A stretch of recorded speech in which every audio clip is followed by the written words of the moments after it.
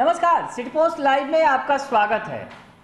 मैं हूँ अनुराग। केंद्रीय मंत्री रविशंकर प्रसाद ने कल नई गाइडलाइन जारी की अपने डिपार्टमेंट की आईटी डिपार्टमेंट के वो मंत्री हैं और उन्होंने टेलीकॉम डिपार्टमेंट जिनका वो जिम्मा भी है तो टेलीकॉम डिपार्टमेंट में नई गाइडलाइन जारी की और कहा कि अब देश के अंदर जो है क्रांति आने वाली है। भारत में बीपीओ इंडस्ट्रीज़, उन्होंने बताया कि 2.8 लाख करोड़ है, लेकिन इस बात की संभावना है कि 2025 तक 3.9 लाख करोड़ हो जाएगी। यानी भारत में जो विदेशी पूंजी निवेश है और विदेशी कंपनियाँ, वो निवेश करने को उत्सुक हैं और उन्होंने कहा है कि भारत उसका बड़ा हब बनने जा रहा है।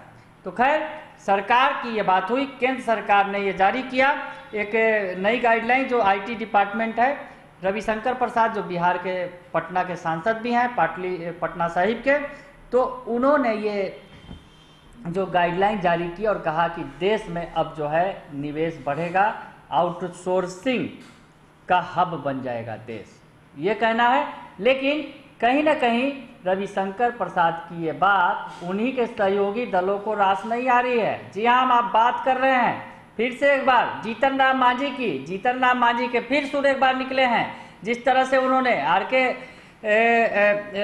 रविशंकर प्रसाद को उन्होंने घेरा है। तो कहा जा सकता है कि मांझी जो है, फिर से एक बार फॉर्म में आ गए हैं, और उन्होंने कह दिया है, क्या कुछ कह रहे हैं हम आपको पढ़ के बताते हैं, ट्वीट किया है उन्होंने अभी अभी।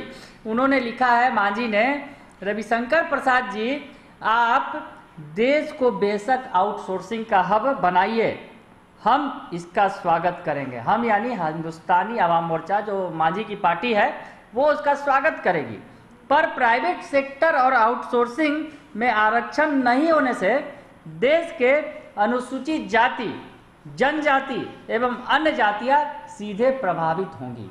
मांझी बड़ी बात कर रहे हैं। मांझी पहले से ही आरक्षण की बात करते रहे हैं। प्राइवेट सेक्टर में, निजी कंपनियों में आरक्षण की बात वो करते रहे हैं मांझी फिर एक बार उन्होंने ये बात उठा दी है, ये मांग उठा दी है और आगे वो लिख रहे हैं, इसीलिए आग्रह है कि आउटसोर्सिंग से भी आरक्षण का प्रावधान सुनिश्चित करवाइए। तो मांझी के जो शब्द हैं, वो कड़े हैं। रविशंकर प्रसाद के बारे में जो कह रहे हैं कि आप देश को बेशक आउटसोर्सिंग का हब बनाइए, जिस तरह से रविशंकर प्रसाद ने कल जो गाइडलाइंस जारी किए टेलीकॉम सेक्टर में और कहा कि देश में अब इससे निवेश बढ़ेगा आउटसोर्सिंग का हब बन जाएगा इंडिया तो मांझी को ये बात रास नहीं आ रही है। क्योंकि अब वो कह रहे हैं कि आउटसोर्सिंग में आरक्षण प्राइवेट सेक्टर और आउटसोर्सिंग में आरक्षण नहीं होने से देश के अनुसूचित जाति और जनजाति एवं अन्य जातियाँ सीधे प्रभावित होंगी। ये बात कहना है मांझी का। यानी एक बार फिर से मांझी ने आरक्षण की बात उठा दी है। हम आपको बताएँ कि मांझी पहले से ही मांग करते रहे हैं कि निजी सेक्टर में आरक्षण होना चाहिए। इसकी वकालत मांझी पहले से भी करते रहे हैं और अब जब केंद्र सरकार ने जब नई गाइडलाइन जारी की है और बिहार के ही मंत्री हैं, बिहार कोटे से ही मोदी सरकार में मंत्री हैं रविशंकर प्रसाद, उन्होंने ही गाइडलाइन जारी की तो इस पर सवाल खड़े कर दिए जीतन राम मांझी ने और आरक्षण की लगे हाथ उन्होंने मांग कर दी है।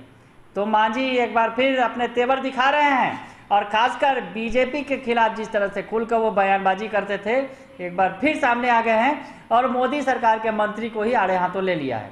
बने रहिए सिटी पोस्ट लाइव के साथ। तमाम खबरें आपको हम दिखाते रहेंगे। फ़िलहाल के लिए इतना ही। धन्यवाद।